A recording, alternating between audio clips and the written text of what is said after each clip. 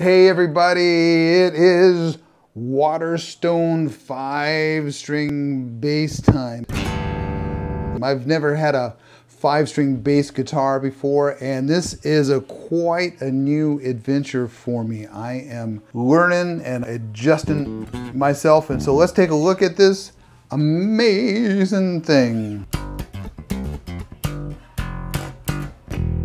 We're used to hearing that as the low E is home base. Get it, home base. And it's sort of like a safety zone. And I always know, oh, A C is going to be here. And all of a sudden, no, the lowest string, it's not that anymore. It goes down to a B. That note speaks. Listen to this. B. So when I do my Sir Duke lick,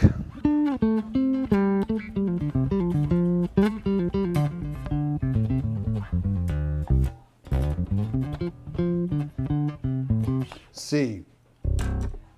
Whew, it's in tune.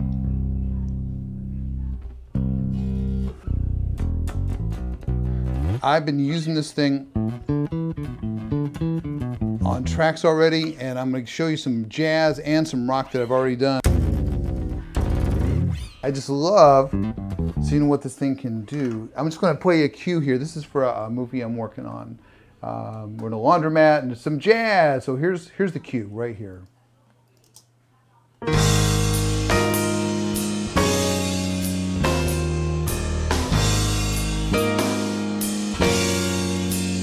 Walking.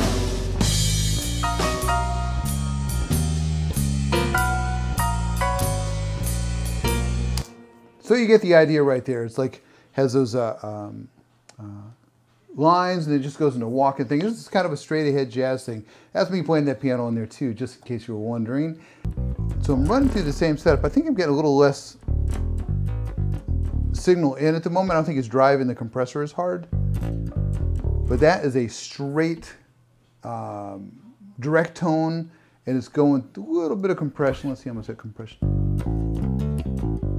Yeah, I'm using this uh, PSP old timer. Uh,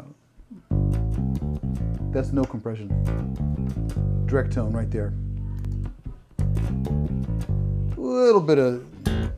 So let's see what this bass actually has for uh, for sonic possibilities here. So because, and I find I'm always getting this D in there. You just need it all the time, and like, see, I just, I go there. So here, I, I need to get a uh, myself like to know exactly what these knobs are doing. This one seems to be tone, but then turn this. I guess this pickup then that one, but the way they interact. Hear how that? That's like seriously.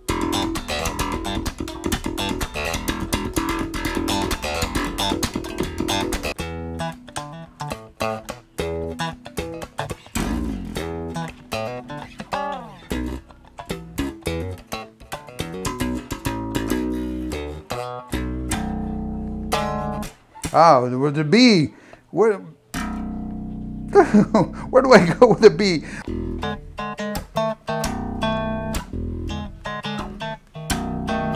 Ah.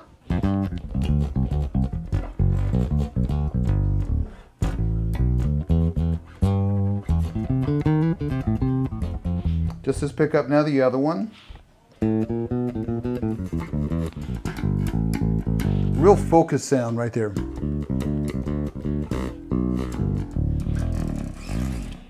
Kind of pull it back a little bit.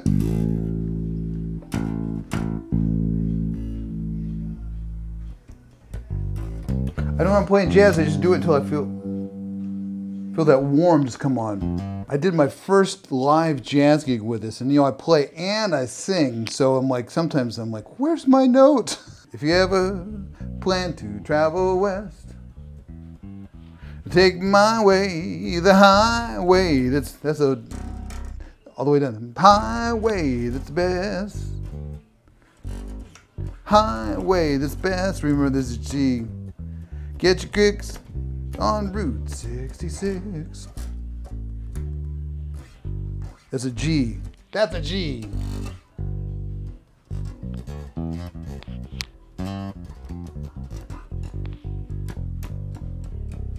I love playing this thing with my fingers.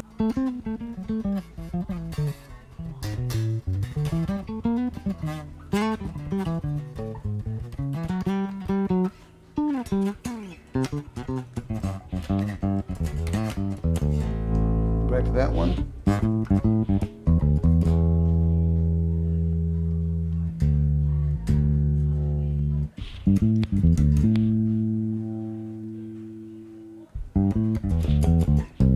I consider this like a very professional sounding and feeling bass. It's a it sits right in the track. It's like super dependable. The tuning's great. See, I hit the E and I'm like ready to go to the bottom one, but that's a B. But see how the notes seem independent of each other? They don't mush up. It's a, it's a magical thing. Hey, let's play some rock, huh? Because this is great with the fingers, great with the slapping, and then also I found it to be fun as can be on the rock and roll too. Anything with a pick. Okay, I want to show you what I did on a rock track. This is the very first thing I recorded when I had this. This is my song Burning Fire. I just released it, and if you want to support the channel, go to my Bandcamp and download it. I would appreciate it very much. Like and subscribe. Uh, here's how this song starts. Right off with the low B coming in there. I'm like, hey, it's in B. Let's see what that note sounds like.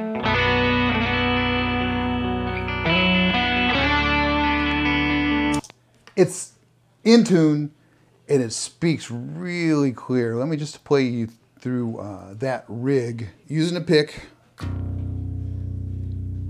Just like that. Next note of D.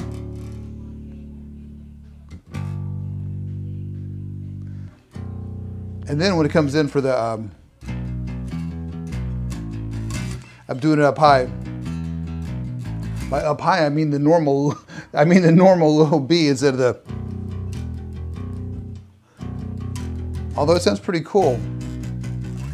I've got a uh, amp on there by Kuassa, and this one is called their uh, Cerberus. I have a little bit of a grit on there. And here, let's just solo out the bass track a little bit. That's that first low note. So let's go to the verse.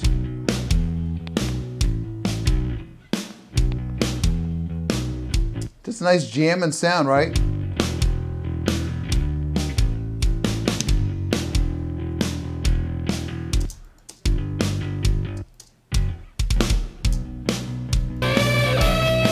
And it has a little breakdown where just a couple little high notes. Ba-do-do-do-do.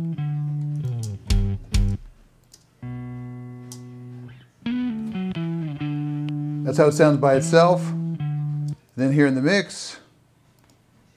It is burning fire, wall of flame, takes me higher. And you know, it's got the interplay between the lead guitar and the bass. I am pretty happy. I wanted to play that for you just with a uh, mastered sound.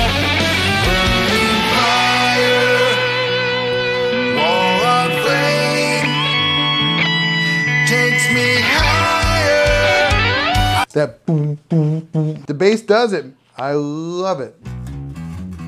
I'm super stoked to have two Waterstone basses now. This five string and the 12 string, which I already did a review on. It's actually really opened up my palette a lot. Uh, it's inspired me.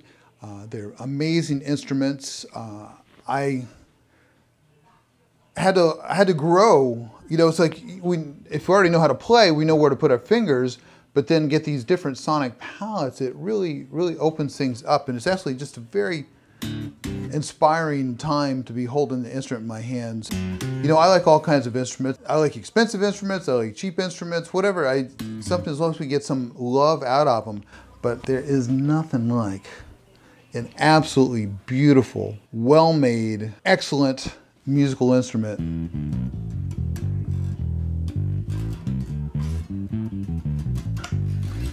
Waterstone is hitting it out of the park.